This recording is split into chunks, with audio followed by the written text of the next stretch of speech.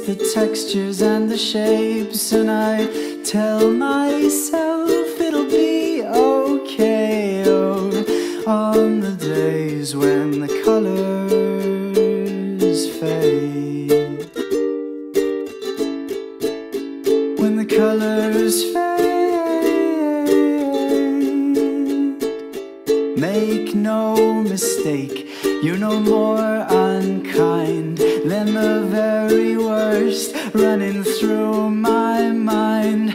Maybe this pain's all that keeps me sane. Oh, on the days when the colors fade, when the colors fade,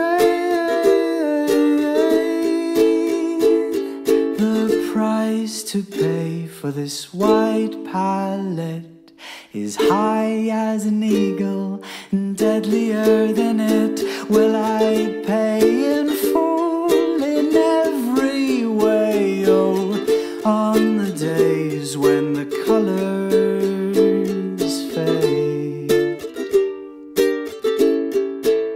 when the colors fade.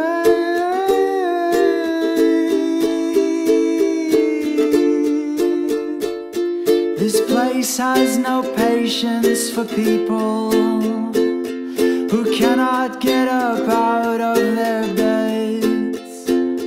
We all know nobody likes a downer when you're high on social media or your meds.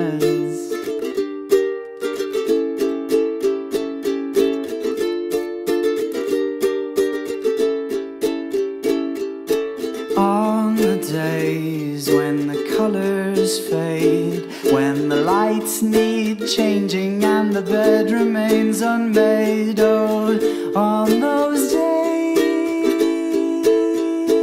I wonder is it the colors or me that fade?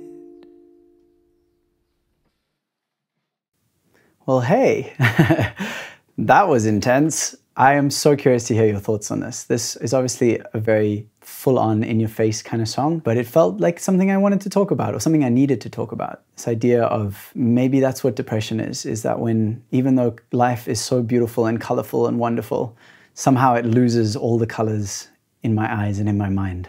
Maybe that's the story here. But I've had a lot of fun creating this. It's been a deep process for me. I really battled with it in the beginning. If you're one of my patrons, then you will have heard the earliest version of the song when I had just begun writing it and I recorded it on my phone. And at that point, I was ready to throw it away. I was ready to walk away from the song. But I pushed through because I, I didn't have time. I have to put a song out. I'm doing this 100 day ukulele challenge, one song a week, 14 songs. And so here I am. I did it and I just put it out. I hope that it, it touches you. I hope you are okay with it. I would love to know your thoughts. So please comment below. Share it with anyone you think may be served by it. And please also become a patron if you can afford to.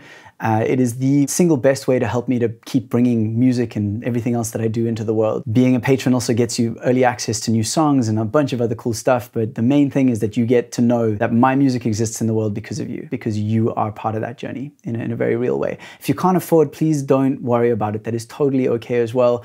Just you being here, watching this, leaving comments, sharing choosing to engage with what I'm sharing with you and the world is is magnificent and I and I appreciate it so much. So thank you. Thank you for the sharing, for the commenting, for everything. I look forward to hearing from you. I'm Nate Maingard. You are awesome and I will see you again very soon.